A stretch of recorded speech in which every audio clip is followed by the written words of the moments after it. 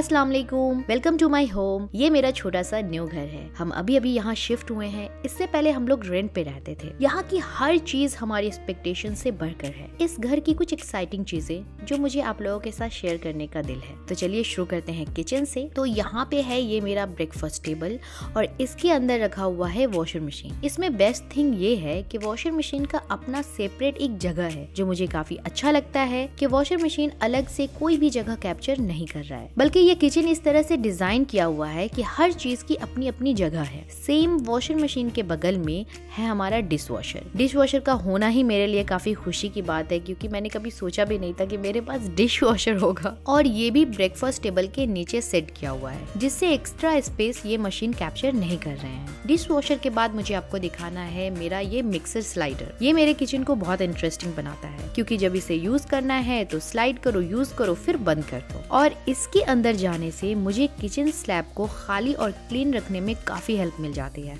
क्योंकि मेरा जो ओवन है, वो भी एक्स्ट्रा स्पेस कैप्चर नहीं कर रहा है, वो भी अपनी जगह पे सेट है। अब जो मुझे आपको दिखाना है, वो है ये कैटलरी होल्डर इस पे मैं इजी एक्सेस वाली चीज़ें रखती हूँ।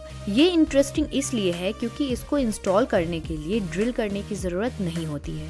ये स्मूथ फ्लैट वॉल पे इजिली स्टिक हो जाता है। इसलिए ऐसा मैंने कुछ और वॉल होल्डर लिया है, जो मैंने अलग अलग पर्पज के लिए स्टिक किया हुआ है। चलिए वो मैं आपको दिखाती हूँ। तो यहाँ पे है ये toilet paper holder with mobile stand जो मैंने वेस्टर्न बाथरूम में चिपकाया है। और ये है मेरा टूथ ब्रश रैक इस रैक की बेस्ट थिंग है टूथ पेस्ट डिस्पेंसर जो आपको थोड़ा और लेजी बनाने में हेल्प करता है। इधर कोने में अगर आप देखेंगे तो मैंने बाथरूम सेल्फ और शोप होल्डर चिपका दिया है। अब जो मैं आपको दिखाने जा रही हूँ ये एरिया मेरे लिए उफ, मैं क्या बताऊँ सुकून वाला है। क्योंकि मेरे सारे क्लीनिंग टूल्स यहाँ पे ऑर्गेनाइज रहते हैं। सबसे ज़्यादा टेंशन घर में अगर किसी चीज़ की होती है तो वो है झाड़ू पोछा ये सब बस इधर उधर छुपाते रहो। अगर सारे क्लीनिंग टूल्स एक जगह ऑर्गेनाइज हो जाए तो बस क्या बात है। और अब बारी है क्लोथ हैंगर की। जो कपड़े हम लोग गेट के पीछे वाले हैंगर में डालते हैं ये वही जगह है। इस घर में सिर्फ़ ये जगह होने से मेरे सारे गेट एकदम फ्री स्लिम ट्रिम हो गए हैं। इसलिए मैंने पहले ही कहा था, ये एरिया है सुकून वाला।